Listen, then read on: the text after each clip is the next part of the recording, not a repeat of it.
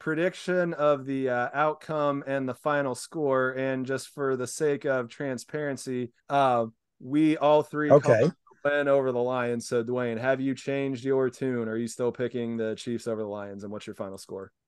I'm still picking the Chiefs over the Lions by 10. Final score 31 to 21. KC. Dwayne and I really close. Uh, I think we're going to get another field goal in there. I'm, th- I'm going 34 21. I'm going 38 28 because I, I definitely think that there's going to be some scoring in this one. Um, yeah, I think the Chiefs are going to figure out a, a way to run the ball enough to uh, keep this at a 10 point game.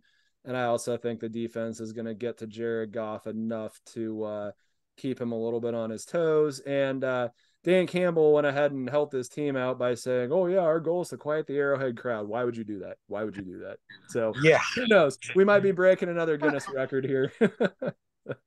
that that AFC Championship game, that first drive with uh, Burrow, that was the loudest like experience yeah. I've ever had in my life anywhere. And I've been to a Metallica concert.